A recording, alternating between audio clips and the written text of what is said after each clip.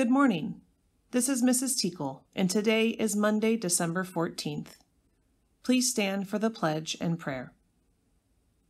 I pledge allegiance to the flag of the United States of America and to the republic for which it stands, one nation, under God, indivisible, with liberty and justice for all. It is hard to believe that we are offering prayer this morning at the start of the last week of the fall semester, a semester that has been unlike any other in our school's history, and that has brought unique challenges and opportunities for each of us.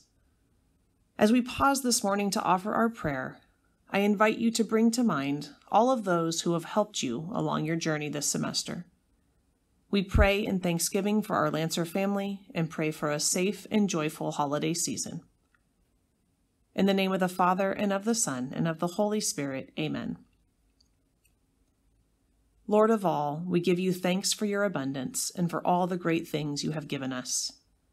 We ask your blessing upon our friends and family and our entire St. Francis community. We also pray that in your great mercy, you would look kindly upon all those in need during this holiday season and offer them your comfort and your grace. We ask this in Jesus' name. Amen. In the name of the Father, and of the Son, and of the Holy Spirit. Amen.